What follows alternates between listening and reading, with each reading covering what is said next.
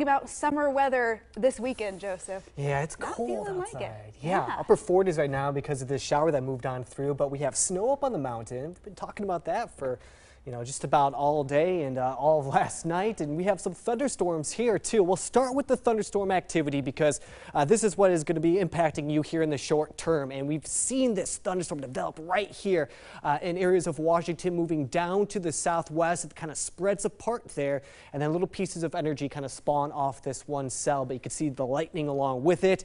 And at times there's been some hail, uh, heavy rain, strong wind. We've had reports of uh, wind activity kind of causing some problems here close to Portland. So we'll continue to uh, get some updates on that. But expect some hail associated with this. That cool air aloft is going to allow for these thunderstorms to exist as we head into the evening hours. Okay, we're at 515 here. You see Salmon Creek. We had one heavy, heavy shower right over Interstate 5 uh, just about five, 10 minutes ago. Now noticing that is kind of spreading apart here and moving off to the west. Now, uh, most of these cells are moving to the southwest very slowly and they're not traveling very far to the west.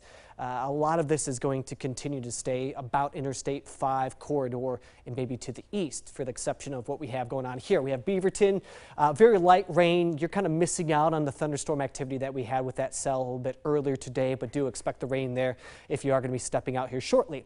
Okay, 515 here, just off to the south near Canby. We had a good cell that's now to the southwest towards Aurora. Again, this is traveling towards the southwest, so areas of Interstate 5 here will probably get kind of wet here shortly. As you can see, this cell that's packing uh, some heavy rain right here, maybe a little bit of lightning and hail too, is moving down to the southwest. Now, as they continue to travel, they're going to lose a little bit of energy, but as we head into this evening, still possibility for more thunderstorms to develop. We have this area of low pressure right here, this upper level low, and this trough that's moving on in, and it's allowing for the cooler air to slide on through, but it's a counterclockwise flow here. And so you can see that these showers can be moving up to the northeast there, but down to the southwest on the northwest quadrant of this area of low pressure. And that's where they're kind of sliding in and they're gathering up some energy from the sunshine that we had this afternoon here in the Willamette Valley and allowing for these thunderstorms to kind of fire on up. Here's another way to visualize this. We have an upper level winds graphic here. We can see the wind arrows going on. And notice that once they hit about the Willamette Valley, they kind of start swooping down to the south, maybe southwest a little bit. And this is what's steering those thunderstorms. So they are going to be moving in from the northeast and traveling down to the southwest, and then they're going to kind of hit a wall there. Uh, so most of this activity is going to stay away from the Oregon coast. With that rain that moved over Portland, we've seen about two tenths of an inch, but possibilities of more as we head into this evening. Notice not much really occurring on the east side of the state.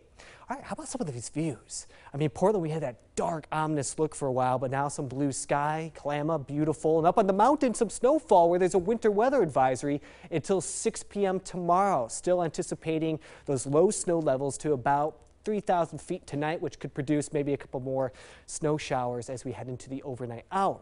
Okay, we get into our Sunday and Monday. It does dry up a bit, and that goes for Tuesday as well. So after our Sunday, we have this span of time where we're not going to worry about uh, any sort of rain or snow, but it will be around for the overnight hours. Seven day forecast 56 tomorrow, 61 and mostly sunny on Monday, 65 on Tuesday. Still cool, still like fall still below average this week. Oh my gosh, it's hard to believe. I feel like we uh, went straight from winter or summer into winter Yeah, this weekend. Not but much of a transition, you know? Yeah. But uh, we have more action going on probably this evening. I'll have updates on social media and the rest of the show, of course. all right, hope you unpacked all the winter gear from the coat closet. Yeah. Thanks, Joseph. Sure. Still to come on.